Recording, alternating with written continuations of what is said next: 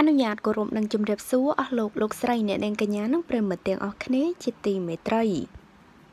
គួរឲ្យសរសើរណាស់ទាំងស្អាតហើយចិត្តល្អទៀន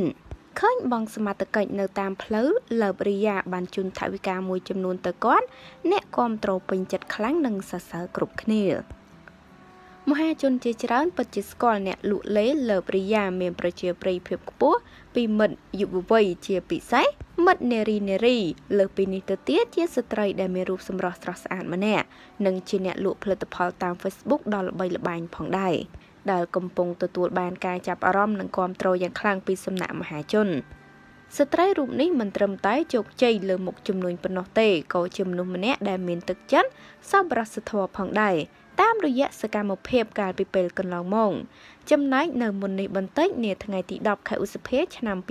2020លើបរិយាបានជួបបងបងសមត្ថកិច្ចតាមផ្លូវក៏បានជូនថវិកាមួយចំនួនផងដែរ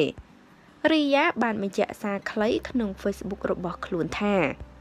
ចែករំលែកដល់បងបងសមត្ថកិច្ចគ្រាន់តែជាទឹកចិត្តបន្តិចបន្តួចពីរូបនាងខ្ញុំលើបរិយាក្រោយពីបានឃើញបែបនេះធ្វើឲ្យគ្រប់គ្នាសរសើរថា ចិត្តល្អណាស់បង បានបនច្រើនណាស់ចែស្អាតហើយចិត្តល្អទៀតបងស្រីព្រមទាំងនៅមានពាក្យពេចន៍សរសើរជាច្រើនទៀតចំពោះទឹកចិត្តដល់ប្រពៃមួយនេះចាលើបរិយាស្អាតហើយចិត្តល្អទៀនគាត់ជាញឹកញាប់គាត់តែងតែធ្វើអំពើសប្បុរសធម៌ប៉ុន្តែគាត់មិនសូវបង្ហោះឲ្យបងប្អូនបានដឹងនោះទេ តែម្ដងនេះក៏បានបង្ហាញឲ្យហ្វេនហ្វេនក៏ដូចជាប្រិមិត្តបានឃើញ គឺការចែករំលែក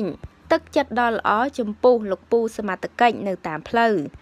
ចាហើយតេតងនឹងព័ត៌មាននេះដែរក៏សូមបញ្ចប់តែត្រឹមនេះអរគុណបងប្អូនទាំងអស់គ្នាសូមគោរពលា